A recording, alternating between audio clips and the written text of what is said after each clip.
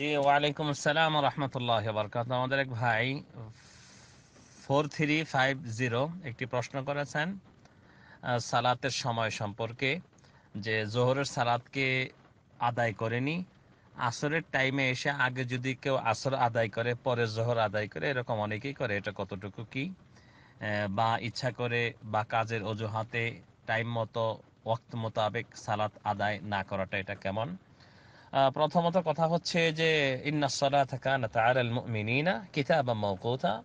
আল্লাহ রাব্বুল আলামিন মুমিনদের উপর নির্ধারিত সময় সাপেক্ষে সময় নির্ধারণ করে এক এক সালাত ফরজ করেছেন।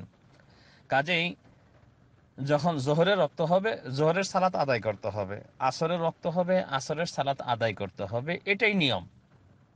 এবং সালাদকে কাজা করার কোনো অজুহাত নেই ইসলামে। সে যে অবস্থায় থাকুক, যেখানেই থাকুক, সেখানেই সে সালাত আদায় করবে। সেখানে বিভিন্ন রকমের ধরন, বিভিন্ন রকমের পদ্ধতি আল্লাহ রবুল্লা আলমিন বলে দিয়েছেন।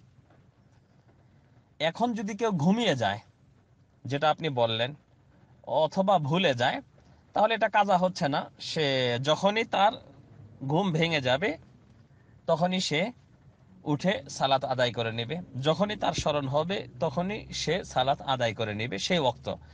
এখন যদি এমন অবস্থা হয় যে না, তার ঘুম ভাঙলো, ভাঙার পরে দেখতেছে আসরের সালাত হচ্ছে অথবা আসরের টাইম চলে যাচ্ছে, এরকম সে এমত অবস্থায় কি করবে ইত্যাদি?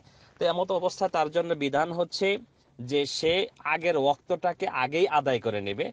পরের ওক্তটাকে পরে আদায় করবে মানে সিরিয়ালটা সে বজায় রাখবে। এমনকি যদি মসজিদে জামাতও চলে, তাহলে প্রথমে সে আসরের ইয়ার, জোহরের নিয়ত করে আসরের জামাতে সামিল হবে, পরবর্তীতে জামাত শেষ করে সে আসর পড়বে। এটাই নিয়ম। আল্লাহ তাআলা আলম।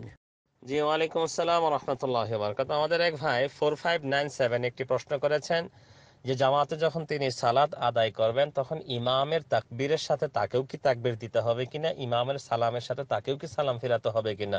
জি, অবশ্যই। ইন্নামা জুইলাল ইমামু লিয়ুতাম্মা বিহ। যে ইমাম নির্ধারণ করা হয়েছে যে আপনি তার ইক্তেদা করবেন তা তার মতো করে, অর্থাৎ তার ইক্তেদা করে আপনি আদায় করবেন। কিন্তু ইমাম যা যা পড়বে তা আপনার পক্ষ থেকে আদায় হয়ে যাবে, এমনটি নয়। সবই আপনাকে করতে হবে। শুধুমাত্র মাফ আছে জাহারি নামাজে। অর্থাৎ যে সমস্ত সালাতে জোরে তেলাওয়াত করা হয়, সেই সালাতগুলোতে আপনি সৌরাতুল ফাতেহা পাঠ করার পরে চুপ থাকবেন। বাকি তেলাওয়াতগুলো শুনবেন।